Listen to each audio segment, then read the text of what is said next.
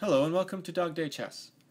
I recently played a game against a friend of mine and we arrived at this uh, knight pawn endgame.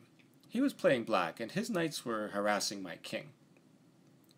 And it was his move and he moved his knight over to g1 checking my king and I moved my king over to e3 and then he moved his other knight over to c5.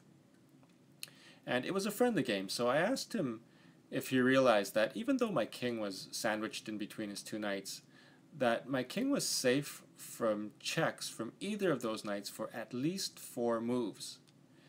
And he hadn't realized that, and he wondered why or how I could uh, know that so instantly. And I told him a very useful fact, which is that a knight requires at least four moves to move to a square that's two diagonal squares away from it. Okay, and that's in the best case. That's if there are no other pieces in the way.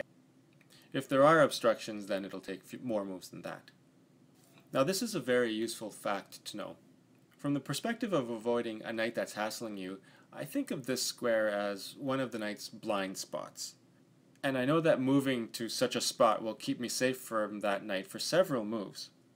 And the key thing here is that I know this without having to take the time and the effort to calculate knight moves. So with this in mind, let's have a look at a more complete picture of the blind spots around a knight. Here's a diagram, I guess you can call it an infographic, of the number of moves that a knight requires to reach each of its nearby squares. Obviously the squares with the number 1 are the squares that the knight can jump to immediately. The number two squares are arranged in this diamond shape around the knight. And it takes two moves for the knight to reach any one of those squares.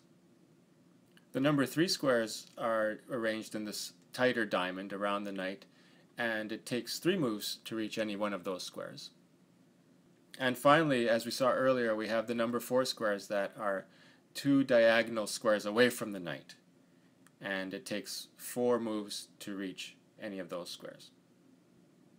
So as you can see from this diagram, if you have a piece over here that's being attacked by this knight, then you can hide from that knight for at least a few moves by moving your piece over to this square or to that square. So these are the knight's blind spots, as I like to call them. As always, I hope you learned something from this episode, and thanks for watching.